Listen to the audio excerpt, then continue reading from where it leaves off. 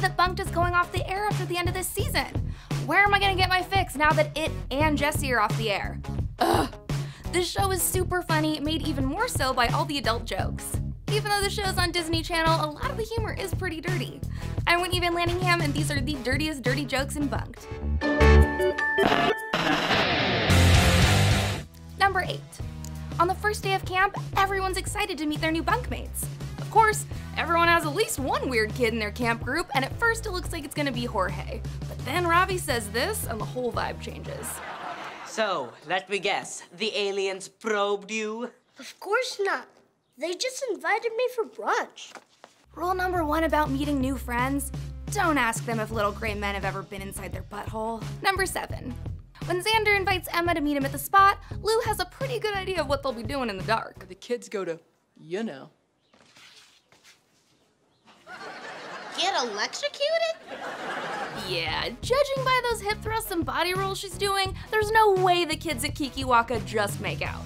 There's definitely a little dry humping going on, just like a summer camp hookup should. Also, if they don't listen to Kiki Do You Love Me while they're grinding, I'm gonna lose it! Number 6.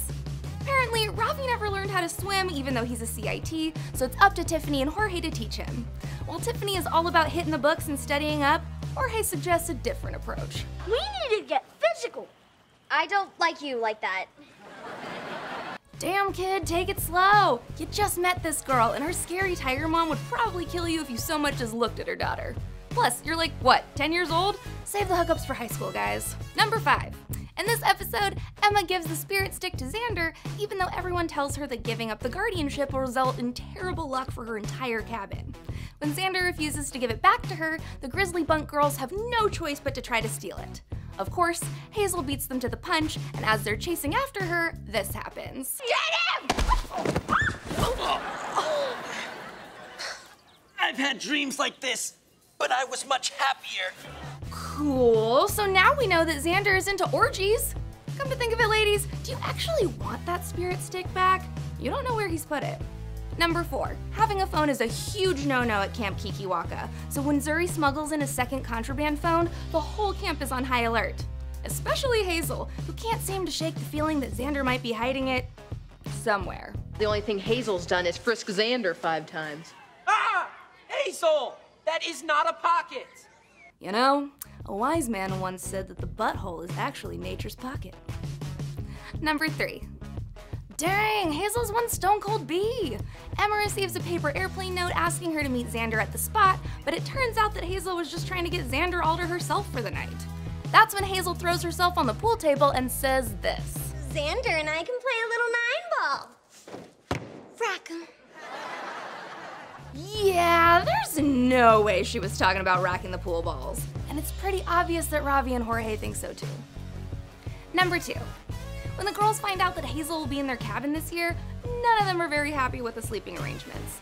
Hazel takes up almost the entire room with her bed and rhythmic ribbon dancing. But Homegirl definitely needs to lay off getting frisky with that ribbon in front of her bunkmates.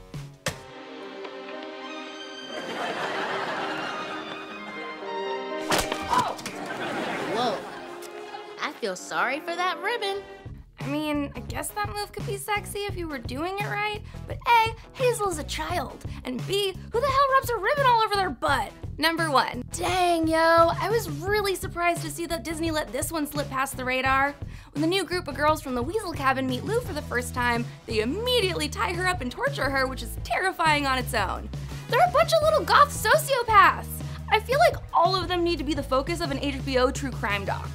The Weasel girls put a collar and a leash around Lou's neck and even give her this nickname. They named me Reek. Reek? Which I love.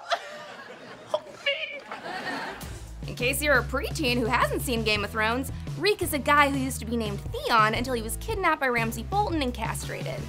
I don't know if the Weasels plan to cut off Lou's non-existent penis, but calling her Reek is definitely a slippery slope. These are my favorite dirty jokes and Bunk'd, but there are definitely way more for us to talk about. Let me know which ones are your favorites in the comments below, and I'll be back next week to ruin your childhood.